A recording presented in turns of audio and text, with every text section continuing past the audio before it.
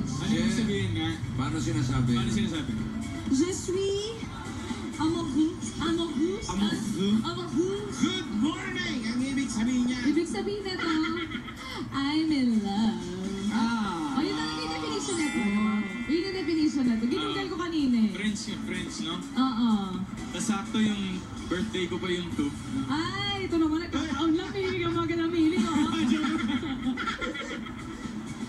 National Pa-Baby Wave Day.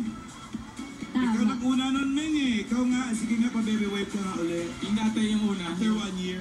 Ayun o. Yun o. Pero Alden, ito yung ano, ito yung first date natin sa mansyon. Naalala mo ba? Ah, ito yun. Hindi, hindi ito. Yun. hindi. Oo, ito yun. Oo nga pala. Ano yung ano, ano nga yun? Ah, Alda first date. Oo, yun. Naalala Hindi tayo, mag, hindi tayo pwede maghawak nun. Oo, ano? One, Eh, isang ruler. One, one, one, one, ano? one foot. One foot. Yes, we. Je suis. Just we amoro.